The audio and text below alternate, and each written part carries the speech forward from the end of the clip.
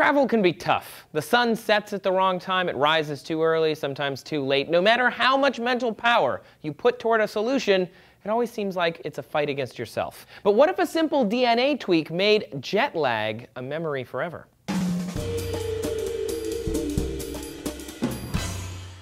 Hey everyone, thanks for tuning in to DNews today. I'm Trace. I fly a lot for this job. In the first few weeks of 2015, I was in five different time zones, two countries, and who knows how many hours of sleep were lost. Zipping from time zone to time zone makes us feel awful. But why? Desynchronosis.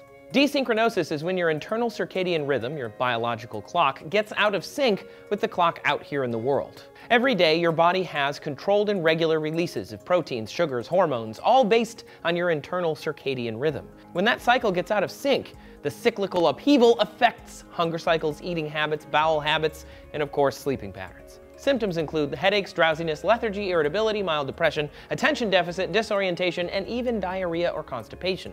Researchers have found the dry airplane environment, changes in pressure, and the time difference on arrival may all affect the condition. But the biggest problem is sunlight. As you know if you've watched D-News regularly, the hormone melatonin keeps your sleep-wake cycle in sync, which drives your circadian rhythm.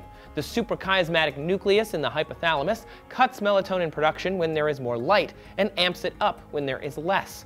The further afield you go, the more out of sync your body normally is with the regular day-night cycle of your destination. So when sunlight hits your retina at the wrong time, your body gets all messed up and you experience desynchronosis. This is especially true when going east as the day gets longer.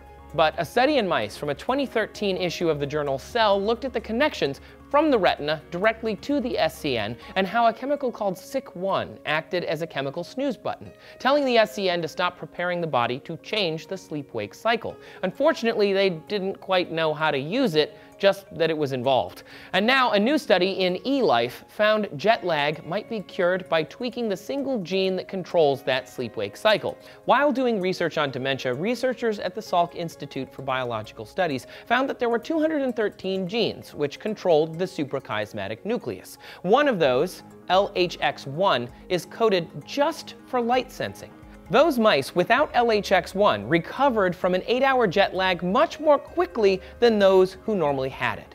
There were side effects, of course. The mice they tested couldn't live like that forever because their neurons weren't as in sync as the normal mice. Plus, there was a decrease of an intestinal peptide called VIP, which no one had even known was related to the SCN before. VIP affects cell communication, so from there, scientists think that we should go on to research VIP, because perhaps breaking it down more quickly, we could rapidly get over jet lag. The best way to get over desynchronosis without messing with our genes is actually a matter of debate. Intriguingly, a small double-blind study by the British Medical Journal found that taking melatonin had pretty much no more effect than a placebo.